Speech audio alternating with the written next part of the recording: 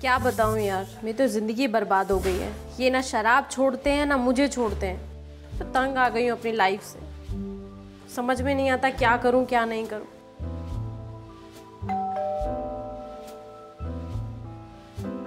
हाँ, रुको लगता है वो आ गए हैं। मैं बाद में बात करती हूँ?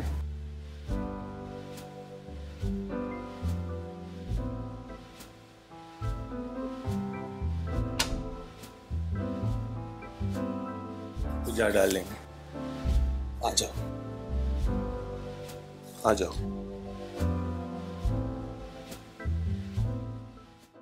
प्यार, जो कि एक बेहद खूबसूरत सी चीज़ है। लोग प्यार में न जाने कैसी इंतहा पार कर जाते हैं।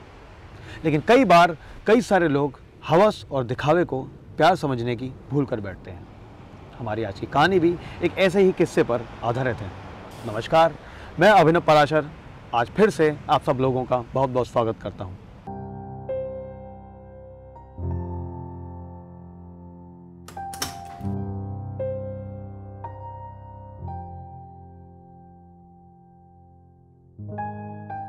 हाँ तुम बताओ कैसे हो? अरे मेरी छोड़ो यार वो तो रोज का है। अरे यार वो बुला रहे हैं। रुको मैं दो मिनट में शांत करके आती हूँ। दो मिनट में शांत हो जाएगा? हाँ देख कर ही शांत हो जाते। देखना है? हाँ भेजो ना। प्लीज़ भेजो ना। पागल हो गए हो? नहीं मुझे वीडियो कॉल नहीं करनी है। अरे प्लीज़ भेजो ना यार वीडियो मुझे देखना है। नहीं ना। पागल हो गए हो क्या?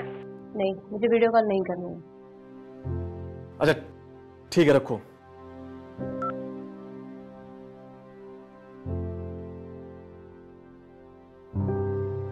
सच में यार पूजा तो बड़ी जालिम है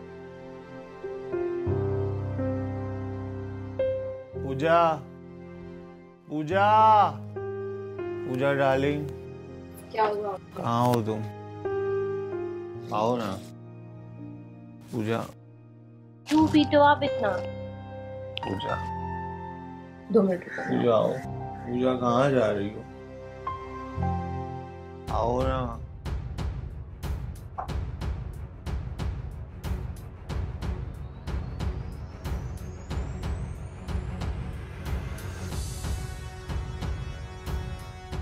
पूजा क्यों अपने आप को इतना परेशान कर रहे साथ साथ मुझे भी। खुद को संभाल नहीं पाते क्यों पीते हो आप इतना? I love you Puja. आप जानते हो मैं आपको कितना प्यार करते हैं। Puja I love you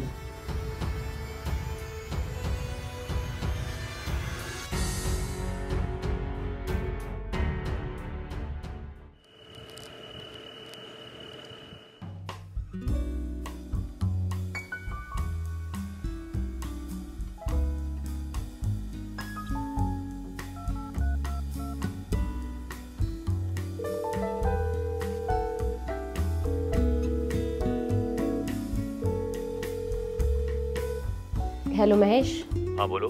तुम्हारे लिए मैंने सरप्राइज़ भेजा है। देखो व्हाट्सएप पे। सरप्राइज़ वीडियो हाँ लोड हो रहा होगा। वीडियो भेजा है क्या? वीडियो अरे यार बहुत नींद आ रही है सुबह देखूँगा। अभी देखो और बताओ कैसा बना है।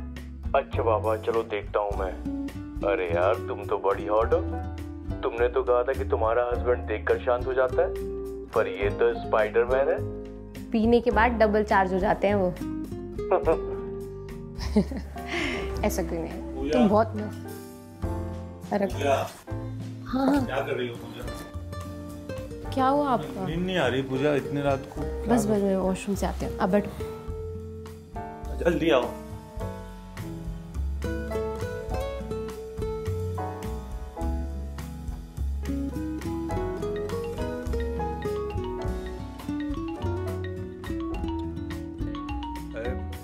जानू तो मैं हूँ तो ये कौन जानू है? जो पूजा को फ़ोन कर रहा है। हेलो हेलो हाँ, काट दिया। कौन था? पूजा! अरे जल्दी करो। पूजा! पूजा!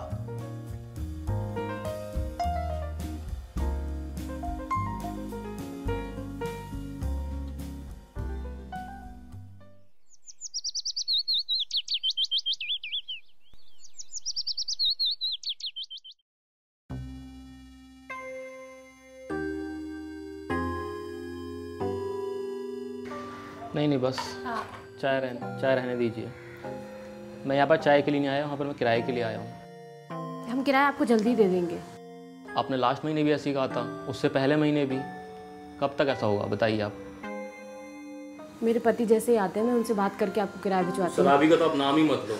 वो लास्ट मंथ भी आया था यहाँ पर। पैसा दिया उसने नहीं दिया? साहब जी कल साहब जी कल एक महीना निकाल दिया उसने पूरा। उसकी बात मत करो आप। हमारे ही बाल बच्चे यहाँ पर हम भी कमाने खाने आए अब ऐसे नहीं चलेगा ना। आप देखिए वो तो आपका मेरे को लिहाज है थोड़ा सा तो मैंने पैसों के लिए इतना नहीं बोला आपसे। पर आप समझिए आप भी। हम भिजवाते भाई साहब आप। ज़्यादा से ज़्यादा मैं आपको कल तक का समय दे सकता हूँ और कल आप किराया नहीं दे पाएँगे तो फिर आपको मकान खाली करना पड़ेगा ये। चलता हूँ मैं ठीक है? और शराबी बती को भेजना। उससे मैं बहुत परेशान हूँ।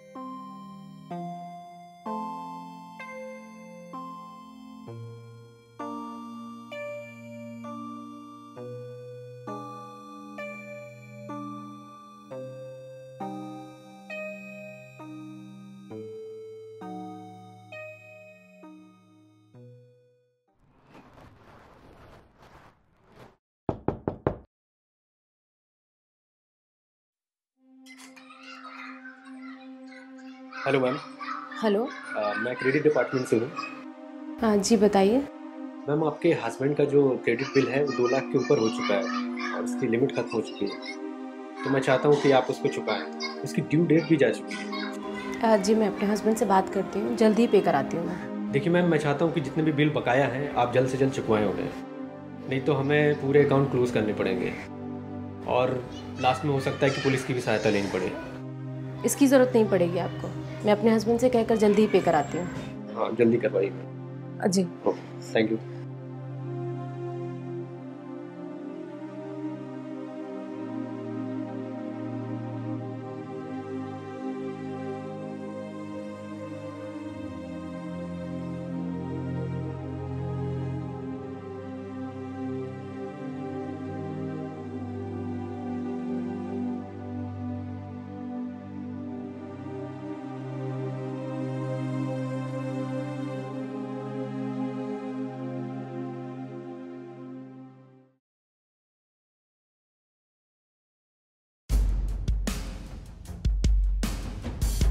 हेलो जानू।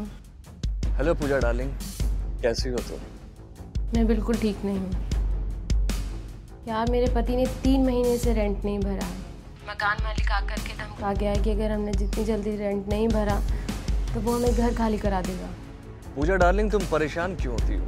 तुम परेशान मत हो। मैं सब कुछ सही कर दूँगा। बट तुम्हें भी तो कुछ करना पड़ेगा ना मेरे लिए। तो तुम ऐसा करो शाम को मेरे पास आ जाओ। आज हम लोग शाम यहीं पे रंगीन करते हैं। तुम्हारी भी प्रॉब्लम सॉल्व और मेरी भी प्रॉब्लम सॉल्व क्या बोलती हो? ठीक है। ओके बाय लव यू चलो बाय थैंक यू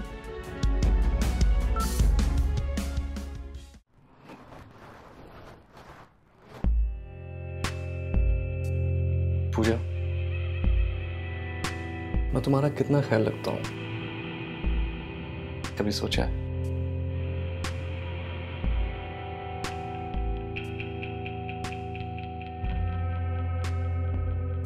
एक लाख रुपए। एक लाख रुपए। तुम्हारे किराए के। वो तो दो लाख थे ना।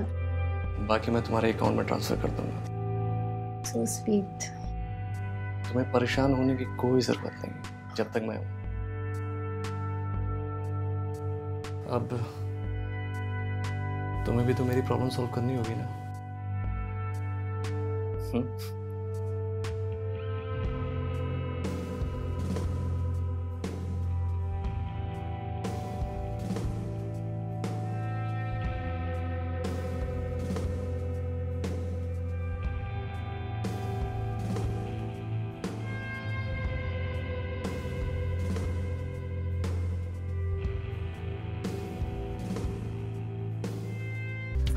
ऐसी कोई बात नहीं है यार मस पूजा। आप? अगर तो बैठिए मैं वॉशरूम से आती हूँ बस। क्या? बैठी बैठी आप क्या कर रही थी बस बस कुछ नहीं कुछ नहीं।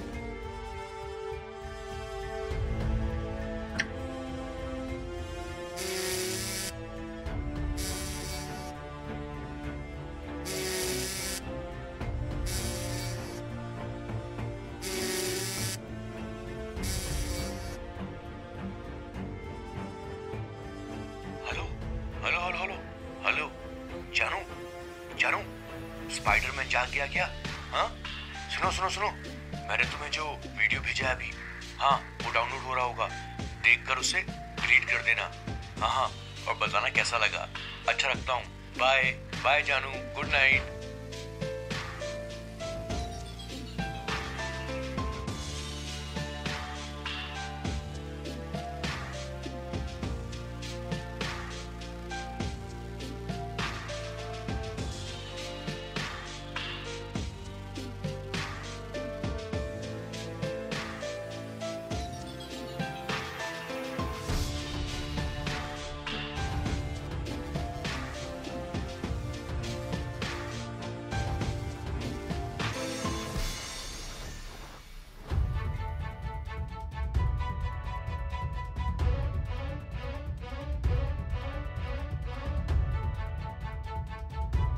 क्या हुआ जानू आपको नींद नहीं आ रही? सो गया था। पर एक भयानक सपना आया और मेरी नींद उड़ गई। क्या सपना देखा आपने? मैंने देखा कि कोई हमारा खराब वीडियो बना रहा था। कौन? पता नहीं कौन था। लेकिन हमारे गंदे गंदे वीडियो बना रहा था और किसी को भेज रहा था। कौन था वो? पता नहीं कौन था।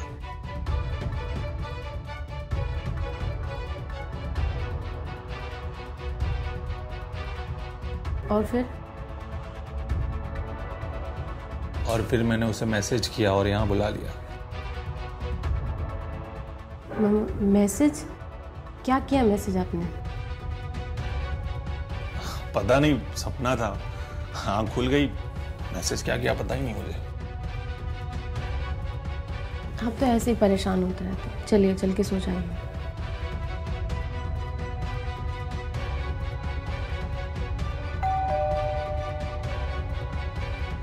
इस वक्त इस वक्त कौन आया होगा? अरे खोलो कोई तो आया होगा। या तो तुम्हारे जानने वाला होगा या मेरे जानने वाला।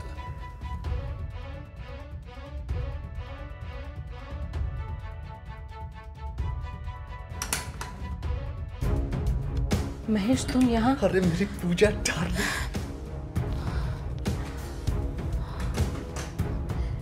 मुझे माफ़ कर दीजिए। अरे बैठ!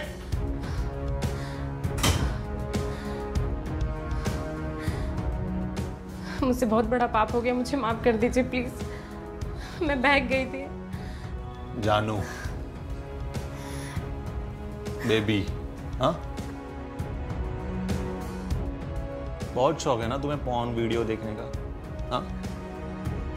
अरे पूजा डार्लिंग यहाँ क्यों बैठे हो? मेरे पास बैठो बैठो मेरे पास।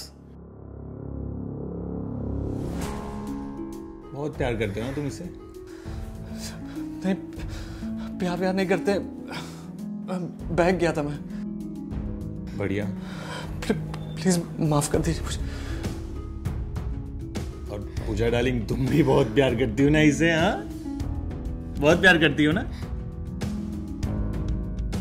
मुझे माफ़ कर दीजिए। मैं बहक गई थी। प्लीज़ मुझे माफ़ कर दीजिए। जानती हो पूजा? कि पतियों की क्या गलती है? वो अपनी पत्नियों से बहुत प्यार करते हैं। उन्हें खुश रखने के लिए दिन रात मेहनत करते हैं। उन पे भरोसा करते हैं। और तुम जैसे लोग उन्हें बदले में क्या देते हैं? क्यों पूजा डालिंग बदले में क्या देते हैं तुम जैसे लोग उन्हें? हम्म?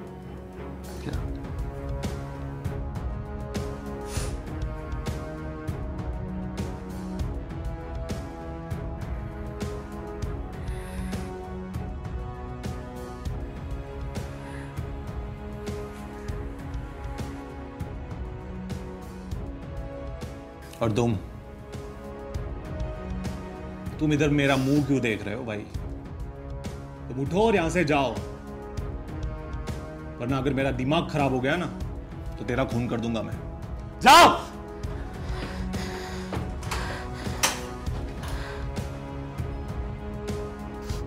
और पूजा डालिंग दरवाज़ा खुला है।